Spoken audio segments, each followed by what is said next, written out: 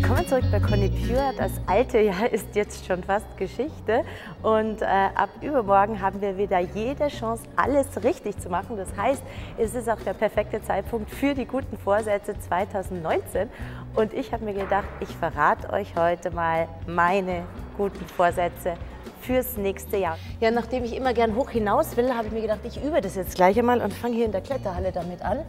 Und die Kletterhalle hat ja schon gleich immer mit meinem ersten guten Vorsatz ein bisschen zu tun. Nämlich nehme ich mir jedes Jahr vor, zehn neue Dinge auszuprobieren. Neue Sportart, irgendwie neue Zubereitungsmethode oder sonst irgendetwas. Irgendetwas, was ich noch nie gemacht habe.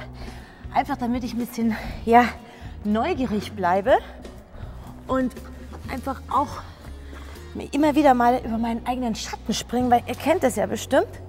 Man schissert sich ja bei vielen Dingen oft mal an und das hat mir schon so oft geholfen, coole neue Dinge auszuprobieren und das möchte ich weitermachen.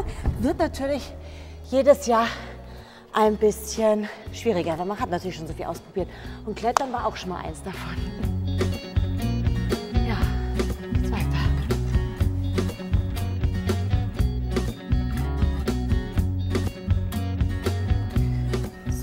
Zweite gute Vorsatz hängt mit dem Alkohol zusammen. Und zwar mache ich das auch schon seit ein, zwei Jahren oder mehr, dass ich zwei Monate im Jahr völlig ohne Alkohol machen möchte.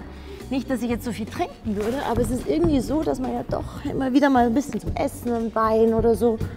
Und das ist so erholsam für den Körper, wenn man einfach mal eine Zeit lang nichts trinkt. Das muss man sich aber vornehmen.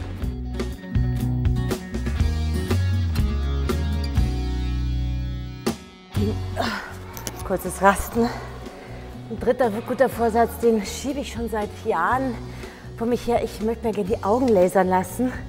Und ich habe da ein bisschen Schiss davor und ich weiß auch gar nicht so gesagt, wo ich hingehen soll.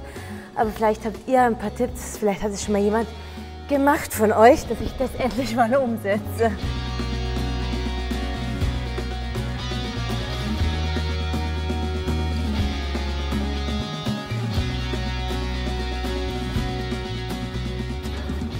Und mein vierter guter Vorsatz, der hat mit Meditieren zu tun.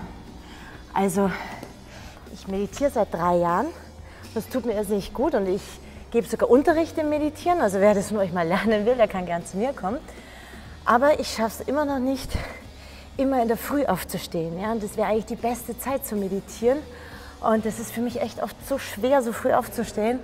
Und ähm, ich möchte auf jeden Fall mal zwei bis dreimal in der Woche wirklich in der Früh, ganz früh aufstehen zu meditieren. Und das wäre echt ein guter Vorsatz. Und da brauche ich, glaube ich, ein bisschen viel Motivation, dass ich das schaffe.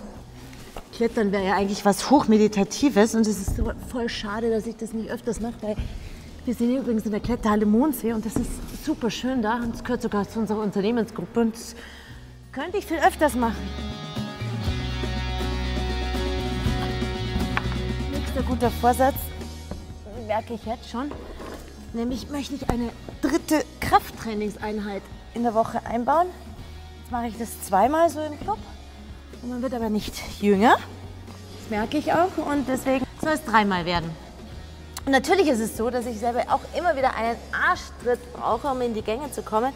Und deswegen habe ich mir gedacht, ich mache heuer wieder eine Neujahrs-Challenge. Könnt ihr alle mitmachen. Infos kommen in Kürze auf diesen Kanal. Mich interessieren natürlich eure guten Vorsätze. Und jetzt darf mich der Tom auch wieder runterlassen.